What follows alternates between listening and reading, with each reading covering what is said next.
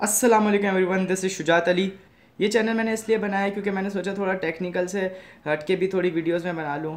Entertainment purpose के लिए भी हो जाएगा। मैंने इसके बारे में सोचा मैं इसमें व्लॉग्स और गेमिंग वगैरह से रिलेटेड भी वीडियोस अपलोड करूँगा। तो ये मेरे चैनल की पहली वीडियो है और पहली वीडियो का पहला व्लॉग है। मैंने इससे पहले कभी व्लॉग्स नहीं बनाया मुझे काफ़ी इंप्रूवमेंट की ज़रूरत है। तो मेरा पहला व्लॉग मैंने विज़िट किया डैन जू उस पर मैंने व्लॉग बनाया।